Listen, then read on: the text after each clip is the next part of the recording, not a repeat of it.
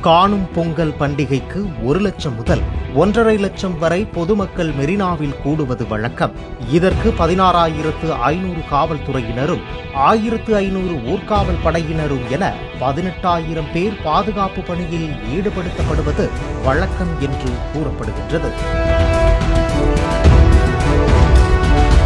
பதினைந்து லட்சம் மக்களுக்கு அழைப்பு விடுக்கப்பட்ட இந்த வான்சாகச நிகழ்ச்சிக்கு ஆறாயிரத்து ஐநூறு போலீசார் மற்றும் ஆயிரத்து ஐநூறு ஊர்காவல் படையினர் என எட்டாயிரம் பேர் மட்டுமே பணியில் ஈடுபடுத்தப்பட்டது ஏன் என்று கேள்வி எழுந்த நிலையில் இதனை சுட்டிக்காட்டி கூடுதல் போலீசார் பாதுகாப்பு பணியில் ஈடுபடுத்தப்பட வேண்டும் என்று உளவு பிரிவு அறிக்கை அளித்ததாக தகவல் வெளியாகியுள்ளது.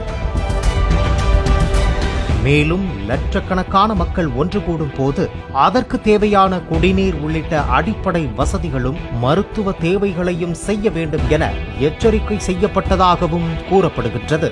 ஐந்து பேர் உயிரிழந்த அசம்பாவிதத்திற்கு பிறகு உளவுத்துறை சார்பில் சில முக்கிய குறைபாடுகள் தெரிவிக்கப்பட்டுள்ளது.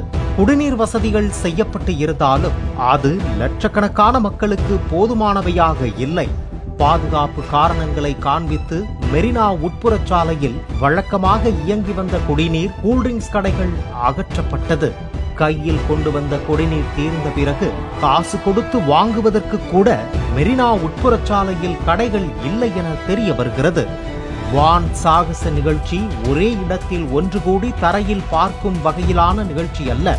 மிகப்பெரிய கடற்கரைகளில் ஒன்றான மெரினாவில் பொதுமக்களை பல்வேறு இடங்களில் தனித்தனியாக பிரித்து நிறுத்தி இருந்தால் ஒரே இடத்தில் கூட்டம் முண்டியடிக்காமல் இருந்திருக்கும். காலை ஏழு மணி தொடங்கி பதினோரு மணி வரை பல்வேறு பகுதிகளில் இருந்தும் திரண்டு வந்த மக்கள் ஒன்று கூடி நிகழ்ச்சியை பார்த்துவிட்டு ஒரு மணிக்கு நிகழ்ச்சி நிறைவடைந்ததும் ஒரே நேரத்தில் அத்தனை கூட்டமும் ஒரே வழியாக சாலைக்கு வந்ததே நெரிசல் ஏற்பட காரணம். பதினேழு இடங்களில் சென்னை போக்குவரத்து காவல்துறையால் வாகன நிறுத்தும் இடம் ஏற்பாடு செய்யப்பட்டும். போதுமானதாக இல்லை என்றும் பலர் வாகனங்களை ஆங்காங்கே சாலையில் நிறுத்திவிட்டு நிகழ்ச்சிக்கு வந்ததும் கடும் நெரிசலுக்கு காரணம். குறிப்பாக விவேகானந்தர் இல்லம் முன்பு விமானப்படையின் அதிகாரிகள் மற்றும் முக்கிய விருந்தினர்கள் அமர்ந்திருந்த பகுதியை சுற்றி மட்டுமே பெரும் கூட்டம் ஒரே இடத்தில் ஒன்று கூடியது.